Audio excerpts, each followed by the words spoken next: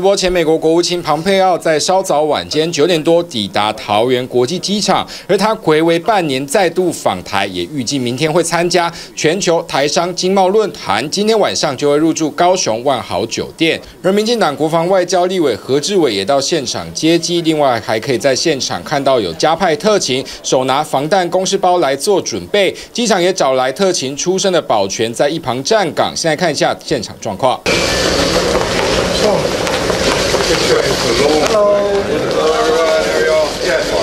面对镜头挥挥手，庞佩奥随即快步离开，因为还要南下高雄，所以要赶高铁。据了解，庞佩奥也会在会中进行专题演讲，一路到下午才会离开。立委何志伟也表示，此行是受到台商总会邀请参加年会，主轴是台美经贸合作，还有未来产业链重组，并不会讨论太高强度的政治话题。以上是为您掌握消息。